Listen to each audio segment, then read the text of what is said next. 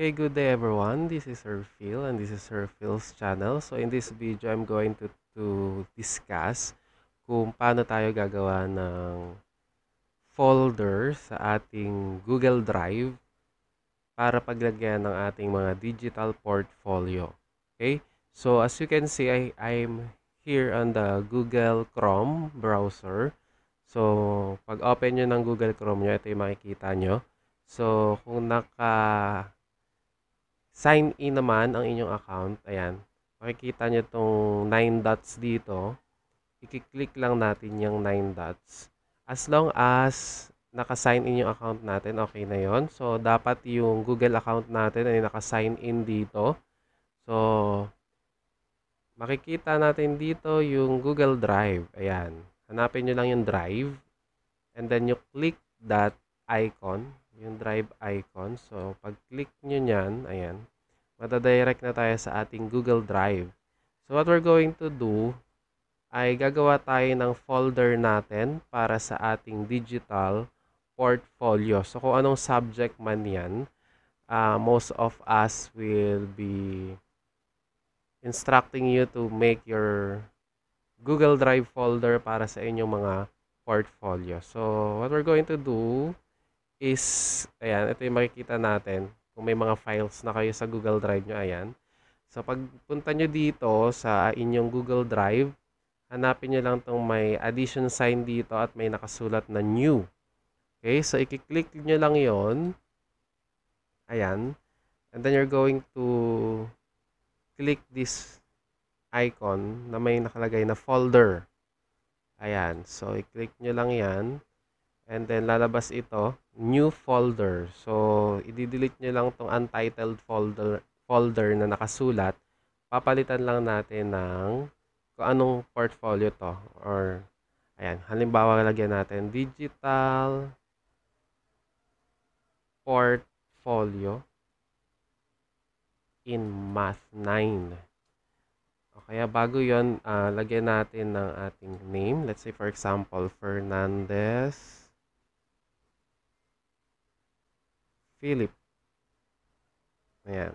Digital Portfolio in Math 9. Tapos, kapag okay na yung folder name, click lang natin yung create.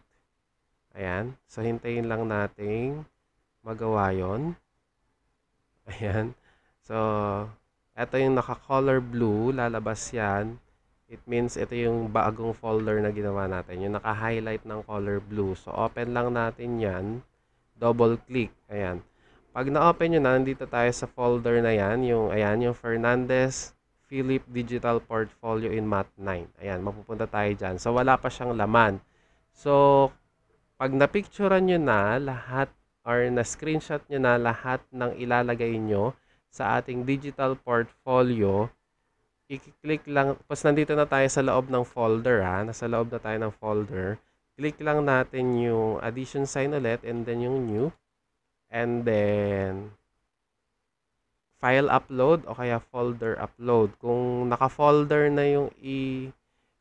Kung naka-folder naman yung i-upload nyo, better para ito na lang yung i-click nyo. So, kung pag folder upload ang clinic nyo, uh, buong folder yung, ibig sabihin buong folder yung i-upload nyo. Halimbawa, Sige, hanap tayo ng pwedeng i-upload natin na naka-folder. Yan, hanap tayo dito. Kung nasan man yung naka, naka-upload. Oh, halimbawa, i-upload natin itong live stream files. Sa buong folder yan. I-click nyo lang yan. Tapos, pag na-click nyo na, click nyo dito sa baba yung upload. Ayan.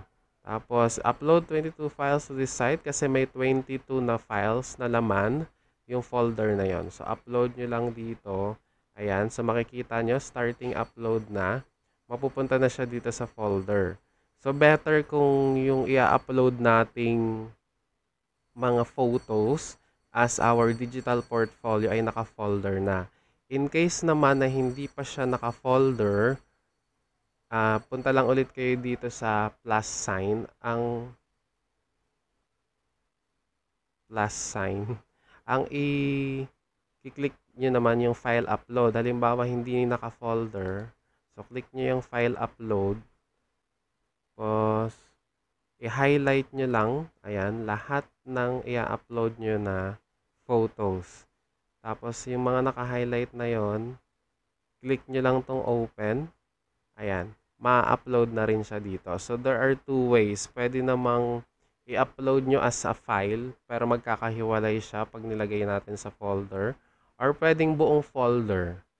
So, mamimili lang kayo dito kung file upload or folder upload. So, yan yung gagawin natin sa pag-upload ng ating mga photos for our digital portfolio kapag ang gamit natin ay personal computer or laptop. Ayan.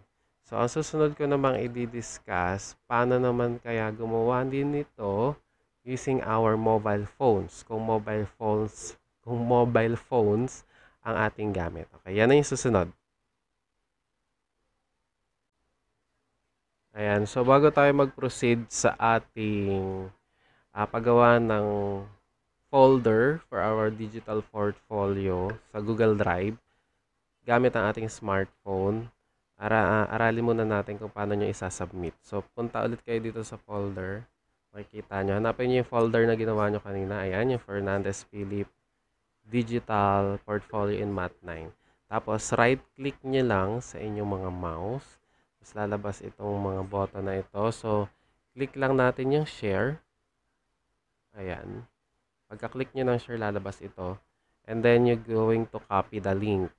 So, copy nyo yung link. Ayan. Pag na-copy nyo yung link, ah, uh, syempre, ito yung isa-submit nyo sa inyong teacher.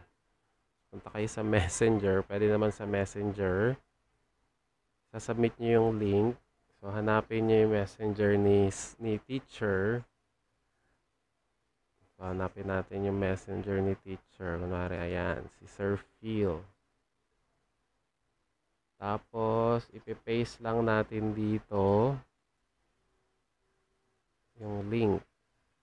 Pagka-paste nyo ng link, send nyo lang. Ayan. So, eto, mapupunta na yan kay teacher. Sa pag, pag clinic niya yan, makikita niya na yung mga pinasa nyong digital portfolio. Ayan. Yung link lang ang isa-submit nyo kay teacher. Okay? So, punta na tayo ngayon sa smartphone.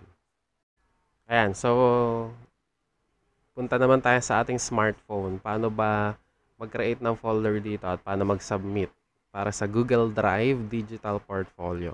Ayan, click natin, hanapin natin yung drive. Ayan. So, lalabas yan dito sa mga Google Apps. Automatic naman yan kung Google ang gamit ng phone nyo. So, click nyo lang yung drive. So, madadirect kayo dito sa inyong drive as long as naka-sign in yung inyong Gmail account. Okay, so create tayo ng folder para sa ating digital portfolio. So, cre uh, click nyo lang yung addition sign dito sa lower right side. Click nyo yan. Tapos, click nyo yung folder. Nakalagay dyan, yung icon na folder, tsaka may pangalan siya na folder. Click nyo yan, tapos lalabas ang new folder in which uh, you're going to delete itong untitled folder. Tapos gagawa tayo ng sarili nating file name. So, pangalan ulit natin, Fernandez Philip. Tapos, halimbawa, this is the digital portfolio. In science naman. Science 9. And then, pag okay na, ah, click nyo lang yung create. Tapos, ayan, lalabas na ta. Lalabas na yung bago nyong ginawang folder. So, click nyo lang yung folder na yon. Tapos, ayan, no, di ba, walang laman. So, nandito na kayo sa loob ng folder. Ibig sabihin, so, mag-a-add na tayo ng mga photos for your digital portfolio.